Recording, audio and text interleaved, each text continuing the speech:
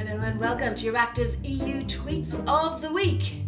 MEP makes hasty exit, there's still no movement over Brexit, and new COVID vaccine, the UK gets it.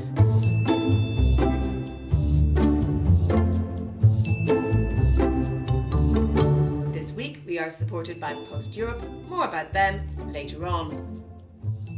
No prizes for guessing our top story this week. Thank you, József Szájer, for the gift that keeps on giving. In case you've been living under a rock for the last few days, the far right Fidesz MEP was caught breaking the COVID 19 social distancing rules at a gay gangbang. As Bruno Waterfield explained, police broke up the party of at least 25 men as Szájer tried to flee through a window, injured himself before trying to claim European Parliament immunity. Making sure that everyone would get the correct news, Hungarian journalist Sandor Siros gave a quick tutorial in how to pronounce his name. József Szájer. Le Chou, meanwhile, was surprised that MEPs actually have sex lives. Where have you been? Simon Nicholson ran a poll for an official hashtag, and so Twitter has spoken. Sex and drugs and EP payroll it is. Ryanair, never one to miss a marketing opportunity, suggested there are better ways to leave Brussels than shinning down a gutter. However, many rightly focused on Szájer's hypocrisy. Not only a close ally of Viktor Orban, he personally rewrote Hungary's constitution to include the line Hungary shall protect the institution of marriage as the union of a man and a woman. He has done more than most to undermine LGBT rights in the country. In less exciting news, the interminable Brexit talks rumble on as reporters run out of ways to say the clock is ticking. Sources from both the UK and EU Brexit teams said they are bemused by the idea that talks have entered the tunnel. One said negotiations cannot become any more intense. Martini Seltzemeyer reckons the only reason Brexit negotiators would enter a tunnel is to brick it up. And is that light at the end of said tunnel?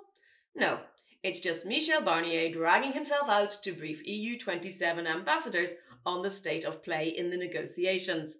Spoiler alert, there's no change. As Tom Newton Dunn reported, it appears the four day tunnel has failed. Barnier told ambassadors that a deal hangs in the balance, but differences still persist on the three main issues. Plus ça change. This week we are supported by PostEurop. Find out why, when making a purchase, clear delivery information is the number one priority for Europeans. To find out more about EU consumer habits, follow the hashtag Deliver4Europe. This week, the UK also announced that it would be administering COVID 19 vaccinations. Well played, scientists! Happy Vaccine Day, everyone, tweeted Gary Lineker. But the echoes of Brexit soon boomed. Brexiteer and recliner in chief MP Jacob Rees Mogg claimed we could only approve this vaccine so quickly because we have left the EU. Frédéric Moreau was incredulous.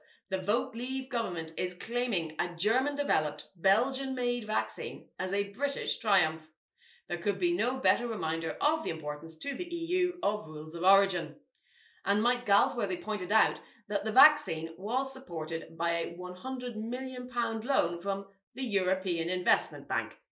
Belgium, meanwhile, will begin vaccinations from 5th of January, announced Prime Minister Alexander De Croo. And on Monday, the European Commission signed its fifth vaccine contract, securing almost 2 billion doses of future COVID 19 vaccines. Europeans will be able to get them once they have proven to be safe and effective, said Commission President Ursula von der Leyen. But of course, Burly Monster wanted to know are you allowed to have them all? That's it for this week. Join me again next Friday for more hijinks and rethinks in the Brussels bubble Twitter sphere.